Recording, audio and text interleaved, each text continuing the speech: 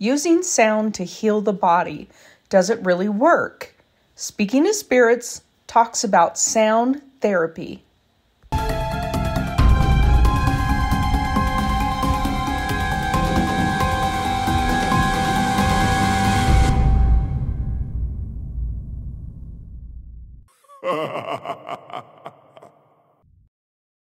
Everybody, this is Colleen with Speaking of Spirits, and I'm with here with Kate. Hi, guys. we are going to talk about um, sound therapy, sound healing. Um, I think it's an interesting topic, and both of us have done sound therapy, right? Yep, we have. You do you practice it, or have you only gone to it? I currently have only gone to it. Um, being a Gemini, I want to learn all the things, so eventually I would love to get there. But yeah, I've only gone to sound therapy sessions. Okay, yeah. And I have too. And and for our listeners out there who maybe have thought about it and have never like pulled the trigger to do it, do it. It's uh, you feel so light and good when you come out of it. It's it's really a an amazing session, either with a group of people or by yourself. It's really amazing to find a practitioner. It makes you feel that good. So, yeah. So we were going to talk about the different hertz, um, but I do have a little bit of a warning for you. From I I go to um, it's it's and I don't remember exactly the the term for it but it's it's part of um, a therapy to kind of reset for um, maybe anxiety or it's it's really cool. I go through it for PTSD, and um, the VA sent me to a therapist who does this, and um, you have um, sensors like on your head, and then you're listening to sound. And then they just have a screen going where you're just watching patterns. It's no it's nothing. And but it's resetting the switches in your brain to get you back to level because we're right brain and left brain. And if you get too left or too far right it can mess with you and what they try to do through these therapy sessions through this sound is every time your brain starts going right or left and not staying in the middle it skips the music and it resets you. You don't even, you're not even aware of it, but you do when you come out of there. You're like, damn, there's nothing I can't do. I feel invincible. You feel so good. And it is a PTSD cognitive thing that the VA sends us through. And it, and I love it. Um, but so he cautioned me about listening to low frequency um below what is it 432 we were talking about kate yeah. i think Mm-hmm. He he did say that he's had patients come into his office in full blown psychosis if they listen below 432. Now I don't know if they're listening for a long time. I don't know exactly what that means because when I was looking at sound therapy online to figure out what other types of sound therapy are there, there's really low frequency sound for a variety of different things. So obviously it's do, it is helping some people, but I wanted to throw that caution out there that maybe speak with um, somebody who does sound therapy, who's a medically trained person. If you have an ailment that could be triggered by low sound, um, I, I don't know. We're not doctors. No, uh, like everything, so, you got to do your research. Like, yeah, do your research. So, um, for example, 40 hertz they have found that flickering lights and sounds at 40 hertz has been used in Alzheimer's therapy um, to stimulate and increase uh, an increased neural response, and it fights symptoms of dementia. Who That's knew? Amazing. Yeah, isn't it? It's sound therapy is really, really amazing. It really, really is. Um, uh, 174 hertz is one of the, the I think they call it sulf, solfeggio frequency. I don't know how to pronounce it, but yeah, that's what exactly what you're saying. Yeah. Yeah, it's a series of tones in sacred music that is believed to be an alternative medicine. So it actually heals the body. 174 hertz is associated with the reduction of both pain and stress. That sounds amazing to me. I mean, yeah, People use it to help migraines. Um, some people even claim so far that it's like a natural anesthesia. I don't, I wouldn't go that far, but like it, whatever state it puts you in, it's a very deep state that you go. That's amazing. Um, another 285 hertz is solfeggio frequency is they say instrumental that it can heal cuts and burns and ailments. I mean, just to me, it's, it's fascinating to think that frequencies of sound can heal like that. Mm-hmm. But why not? Right? Yeah, it's it's just like every like I I can't wait for a hundred years from now when we learn so much more. I know I won't be around, but like I want to know what they discover, like how these healing frequencies like actually work. Like we've come so far in modern medicine just to see how far like some of these therapies that people are like, oh, that's kind of like in woo woo land, like how much it's going to have validity in the future. Yeah, exactly.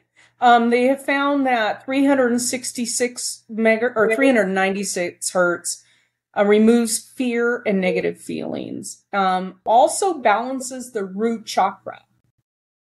Mm-hmm. Um, so it gives you more a joyful outlook on life if you're listening to that. Again, I'm I am prefacing this with what this doctor has told me, so just be careful with these lower frequencies. 470 17 hertz is it focuses on physical ailments. So if you have trauma, um, it's supposed to what uh, dissolve emotional blockages yeah. And who doesn't have that, right? right. Uh, this is supposed to be, I have PTSD. This is supposed to be one of the healing frequencies that helps really well with PTSD. So, or like you were saying, just kind of any traumatic experiences. Yeah. Um, and 432 hertz is that mental and emotional clarity and and that's where I think um, most of at 432 and higher is that cerebral um, part of the brain. I do know. So he sent me a link on YouTube of what to listen to, um, and he uses it like his kids when they're in college to study for an exam because they would retain information more. So I thought, okay, I have so many different scientific reports I have to read and I can't retain all of it. I don't, there's just only so much my little brain can handle, right? So I started listening to this meditation music that he gave on YouTube. And oh my God, I, it's like I can slam through these reports and comprehend what was going on. Now I'm talking about I've had five different head injuries. So I've had I've had one TBI and then probably two TBIs. I got kicked in the head by a horse. And so I that that was a couple of year of pretty bad like memory loss and everything else going on and mixing up words and speaking weird like I thought it was fine. I wasn't. So so I've had some head injuries and I find that that music helps me retain more that's why I always have to have notes because I can't, I just can't retain anything anymore. So, yeah. Yeah. Um, what's interesting at this frequency at 432, I don't know where this comes from, but it's supposed that this was like when humans first had music, this was the loveliest of notes. Like, this was like almost the original kind of sound that started off before it dove into other sounds. Now, how true that is, I'm sure it's not, but I think it's just a beautiful thought about sound frequencies. Well, that's interesting because what I read was opera singers use 432 prior to a performance. Oh. Yeah. Okay, so maybe there is something there. Uh, yeah. Yeah, I think that maybe there is. Um, so 440 hertz is also um, cerebral music that aids in cognitive development. So there's a lot of these. Um, but this one is interesting. For uh, 528 hertz. Yeah. You know this one, huh? Talk about it. Um, so this one, from what I've learned, is that it supposedly can bring your DNA back to its original perfect state. And then it is also the one that activates like imagination, creativity, um, hop uh, like to operate at your highest self. That's what I've learned about this frequency. Yeah, it's also supposed to be. Call- it's, it's they call it the miracle note. Like if you're listening at 528, is the miracle note. It's it's used in native populations as a sound associated with blessings since before written word. They would use that sound for a blessing. So that's like that's amazing to me, you know. Um, so it still carries forward. Uh, let's see, 639 hertz. Again, these higher ranges, more positivity, right? Positive feelings, um, clear communication. It's supposed to help kind of unblock that ability to, to, uh, so maybe like prior to a big speech that you'd have to give in front of an audience or something like that. That would be the sound that you'd look, the, the sound that you'd want to listen to to help unblock that and be able to have that that communication line open.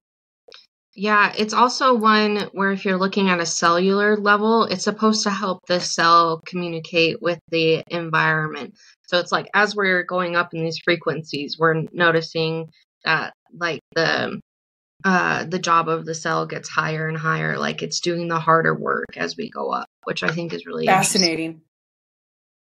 852 hertz is associated with redirecting the mind away from overthinking.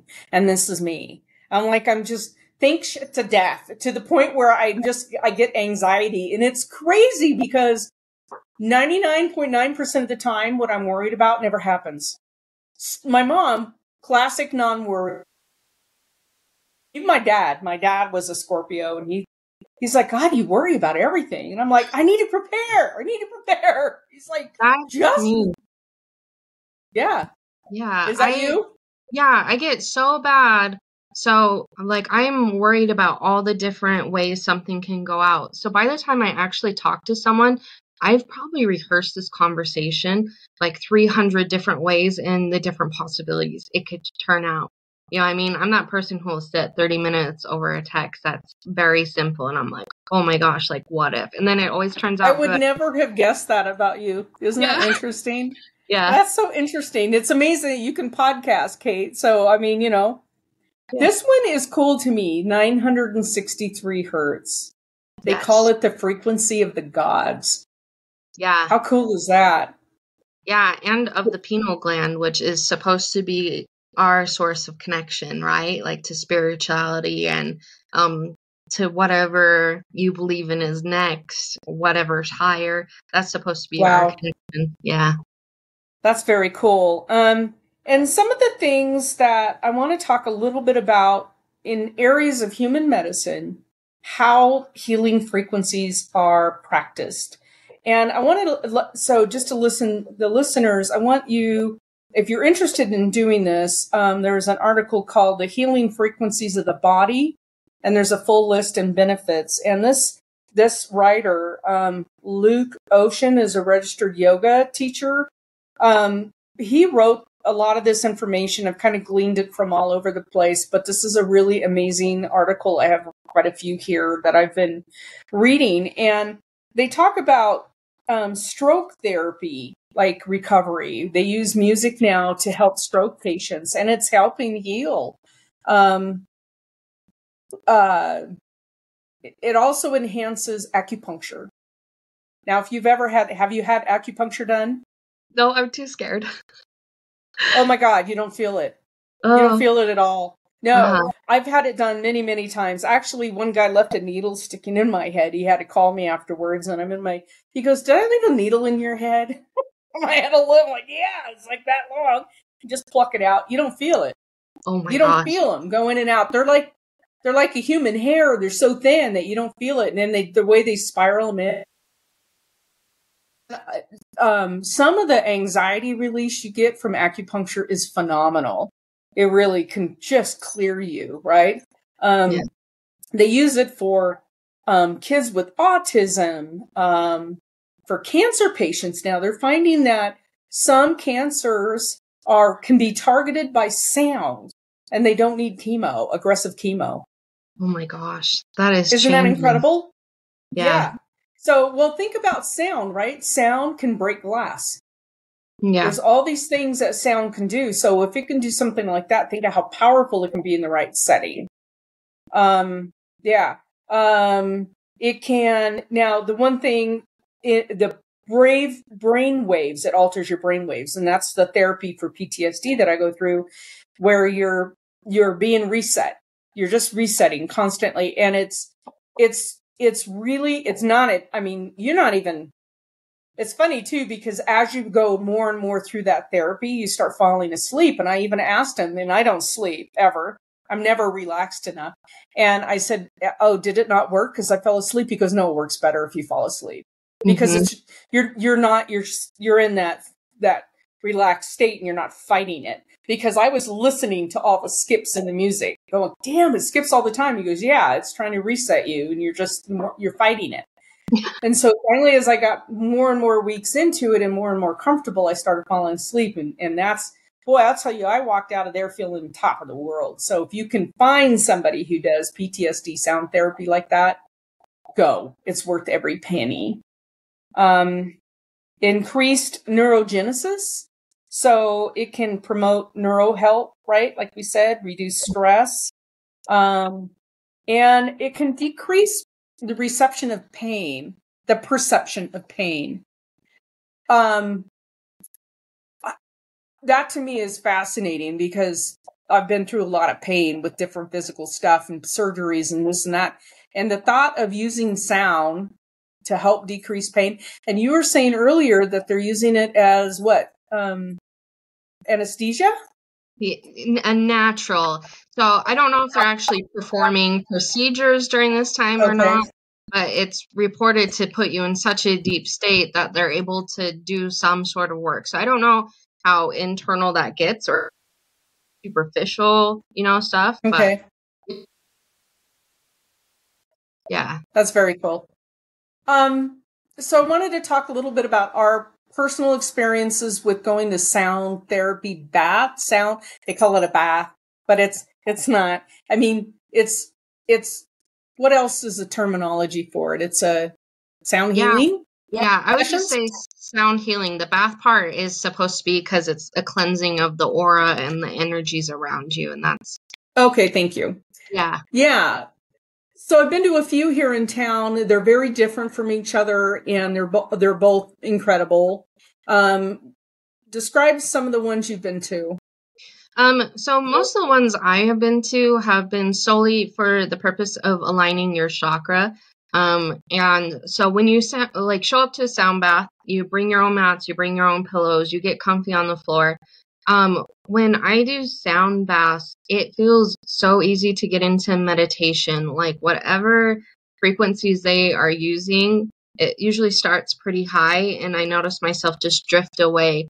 And there's been a couple where like I come back to it, and I'm like, "Did we start?" kind of thing. Like, but it's been a whole hour.